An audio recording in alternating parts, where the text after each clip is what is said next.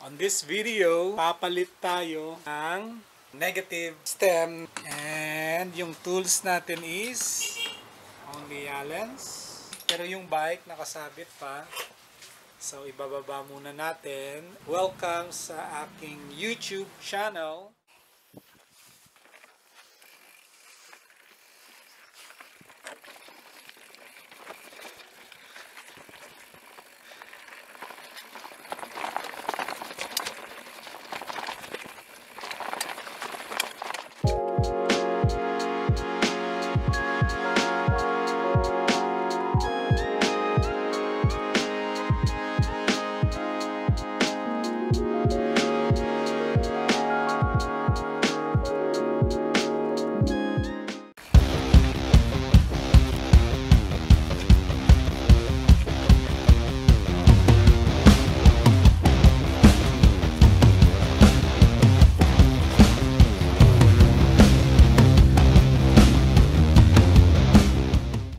Yung tools muna na kailangan natin para ah, kukunin to.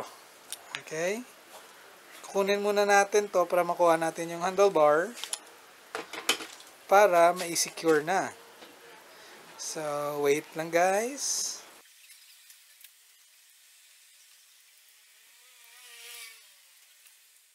Yung reason kasi na papalitan natin to, susubukan naman natin negative stem na mahaba para syempre try natin kung alin ba yung ano, alin ba yung swak sa ating o yung fit sa atin. So itatry naman natin yung ah, negative stem. So isi-secure muna natin yan dyan.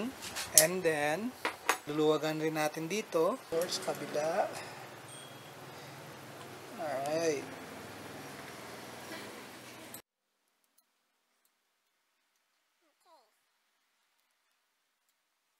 Dito number 5 dito sa top cup niya.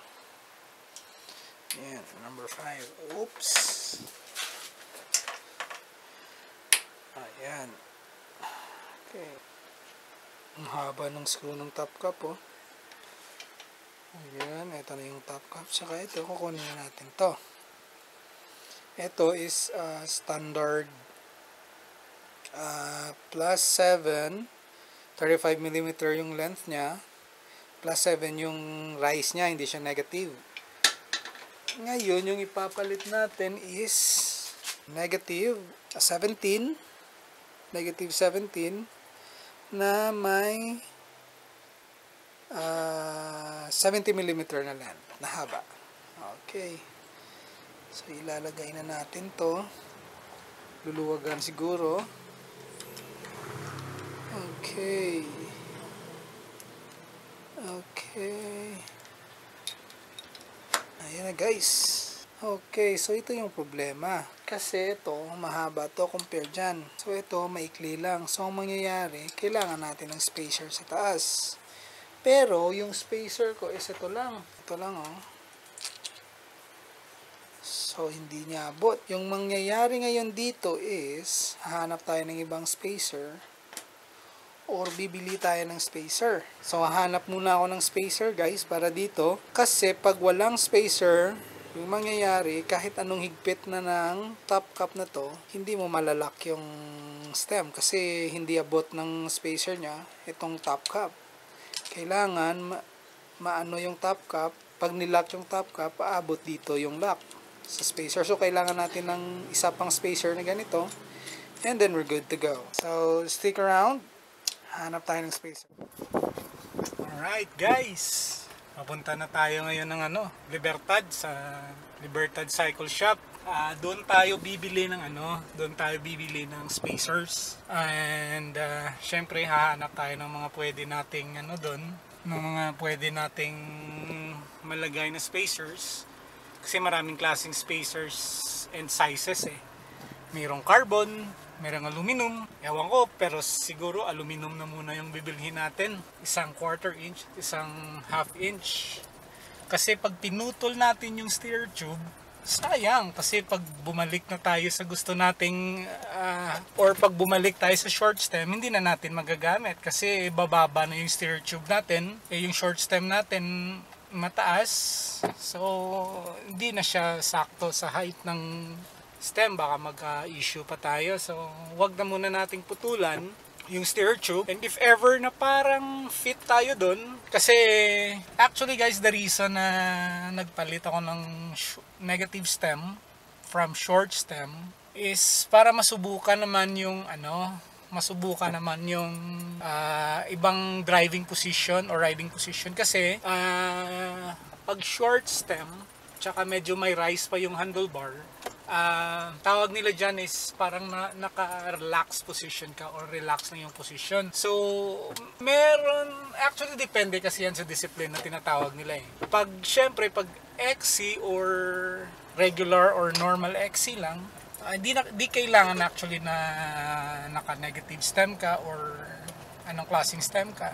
Depende sa kung saan ka komportable. And of course, may iba naman na na nagsiset up ng negative stem na may ah, length na 60 or 70 millimeters. Attack position actually yan kasi nakayuko ka at saka yung likod mo is parang nakaslant pa forward. So yun, parang pang matagalang ano yan, pang matagalang takbo yan. For example, nag-climb ka or umaahon ka and yung position ng likod mo is nakarelax, parang nakatanga ka, Ah, mahirap yan kasi sa hangin, meron ng nakaanong hangin sa iyo or nade-distract mo yung hangin. Hindi hindi aerodynamic yung position mo.